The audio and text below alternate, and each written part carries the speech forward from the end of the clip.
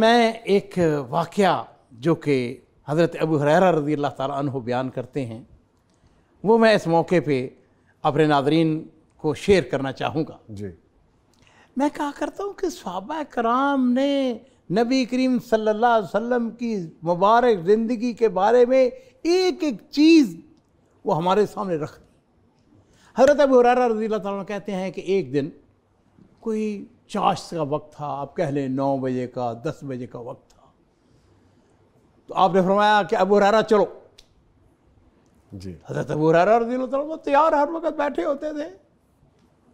कहते हैं कि नबी करीम सल्लल्लाहु अलैहि वसल्लम ने मेरा हाथ पकड़ लिया और वो कहते हैं ज़रा दिक्कत के ऊपर ज़रा गौर कीजिए।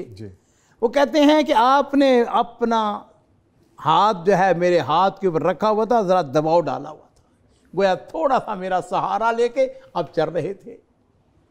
अब मस्जिद नबी के अगर आप सामने खड़े हों महराब की तरफ़ महराब आपके सामने हो उसकी उल्टी तरफ़ वो बकील गरकत है जिसको आम आप अपनी ज़बान में यहाँ पर हिंदुस्तान पाकिस्तान में जन्नतुल बकी कहते हैं। तो नबी करीम सल्लल्लाहु अलैहि वसल्लम ने मेरा हाथ पकड़ा और आप उस तरफ़ चल दिए। बकी गरकत को क्रॉस करने के बाद बनु कैनका का महल्ला आता था। उनका बाज़ार नबी सलाम ने उसकी तरफ़ निगाह डाली और उसके बाद आगे चल दिए सैयदा फातिमा रज़ी अल्लाह अन्हा का घर जो है एक साबित उनका नाम था नुमान। जी। उन्होंने सैदा को घर दिया हुआ था अपना। आप वहाँ पर जब तशरीफ़ ले गए। जब घर में दाखिल हुए तो नबी करीम वसल्लम दीवार के साथ आप बैठ गए। मेरे माँ बाप कुर्बान हो। तो जिस वक़्त अंदर सैदा फातिमा को पता चल गया कि मेरे बाबा आए हैं और नबी सलाम ने जिस वक़्त आप दीवार के साथ टेक लगा के बैठ गए आपने फरमाया ऐन लुका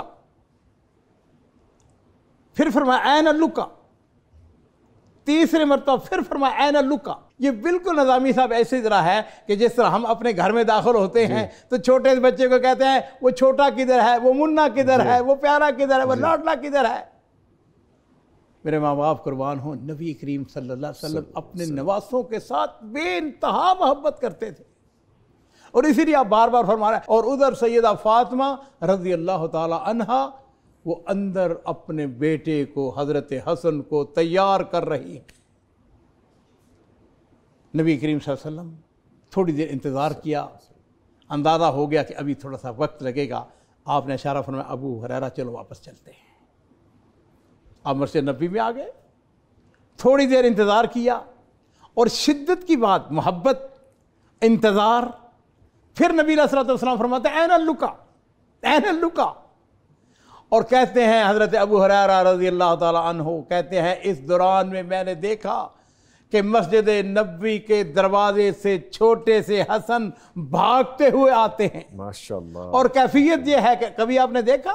छोटा बच्चा होता है ना अपने बाजू इस तरह फैला के भागता हुआ आता है। हज़रत हसन उसी तरह अपने छोटे नन्हे मुन्ने बाजू फैलाते हुए अपने नाना की तरफ़ आगे बढ़ते हैं। और नबी करीम सल्लल्लाहु अलैहि वसल्लम ने भी अपने हाथों के फैला के फरमाया ऐसे। माशाल्लाह माशाल्लाह। और फिर मैं कहते हैं कि मैंने देखा कि छोटा सा हसन नबी करीम सल्लल्लाहु अलैहि वसल्लम के सीने के साथ चिमट जाता है। माशाल्लाह माशाल्लाह। और नबी करीम सल्लल्लाहु अलैहि वसल्लम ने बेख्तियार उनको चूमना शुरू कर दिया। और फिर नबी करीम सल्लल्लाहु अलैहि वसल्लम ने एक लफ्ज़ पर दुआ फरमाई। आपने फरमाया अल्लाह मैं इससे मोहब्बत करता हूँ तू भी इससे मोहब्बत। माशाल्लाह माशाल्लाह। माशाल्लाह। और तीसरी बात जिसका तल्लक मुझसे है आपसे है सारी कायनात के मुसलमानों के साथ है वो ये है अल्लाह जो इनसे मोहब्बत करे तू भी उनसे मोहब्बत फरमा। माशाल्लाह माशाल्लाह माशाल्लाह।